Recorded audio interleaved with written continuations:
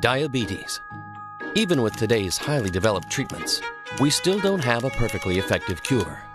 Insulin injections, while effective, are a daily chore and are often perceived as a last resort, leaving patients despondent and uneager to undergo treatment.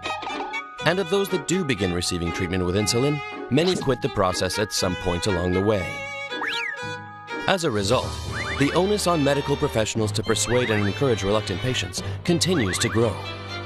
That's why we began to create a system to undo the negative image related to insulin and to make treatment easier and more reassuring for patients, something that, together with the medicine prescribed by doctors, could help.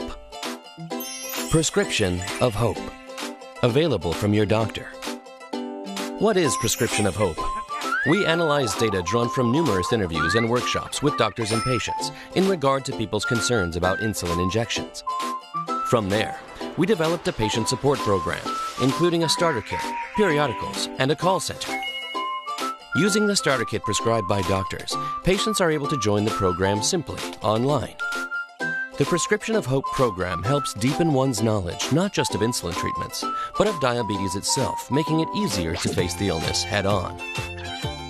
And with periodic contact from medical professionals, not only medical care is provided, but also a helping hand to raise your spirits in the face of this disease. The results of Prescription of Hope. We targeted 2,500 medical facilities nationwide and published 100,000 starter kits.